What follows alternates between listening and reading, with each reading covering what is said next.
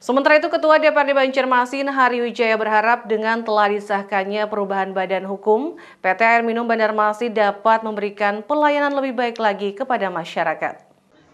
Sementara itu, Ketua DPRD Banjarmasin Haji Hari Wijaya berharap dengan disahkannya Perda Perseroda PT Air Minum Banjarmasin tersebut, diharapkan pengelolaan dan pelayanan kepada pelanggan dan masyarakat dapat berjalan lebih baik lagi. Hal ini guna seluruh pelanggan dan masyarakat kota Banjarmasin mendapatkan layanan air bersih yang maksimal dan sesuai dengan standar layanan terbaik.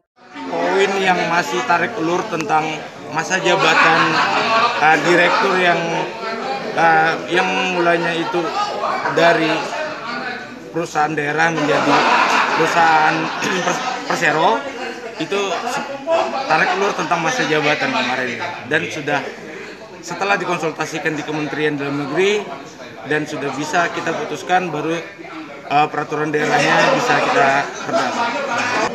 Ya kurang lebih satu itu dari pemerintah kota. Mudah-mudahan da, untuk da, perubahan status ini akan menunjang lagi kinerja perusahaan PDAM tersebut dan bagaimana melayani masyarakat lebih baik lagi. Risna Banjar TV